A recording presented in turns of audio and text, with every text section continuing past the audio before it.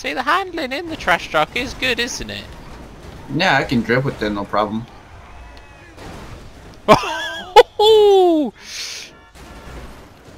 wow.